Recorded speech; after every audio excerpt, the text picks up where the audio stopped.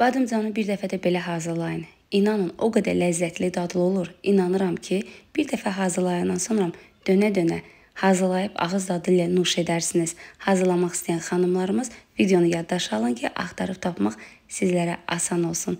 İlk əvvəl badımcanın qabığını soyub, kub-kub doğrayıb, üzərinə duz əlavə edib kənarda 5-10 dəqiqə gözlədirik.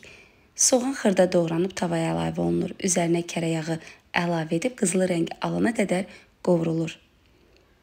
Qabığı soyulmuş pomidorlar eyni qayda ilə xırda doğranır, kənarda gözlədilir. Sizlər bibər də əlavə edə bilərsiniz, amma mən bibər bu yeməkdə xoşlamıram.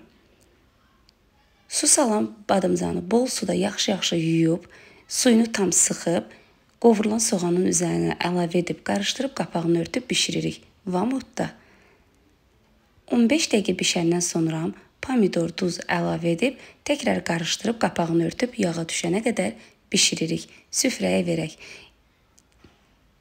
İnanın, möhtəşəm. Mütləq sizlər də hazırlayıb ağız dadı ilə nuş edin. Hələlik.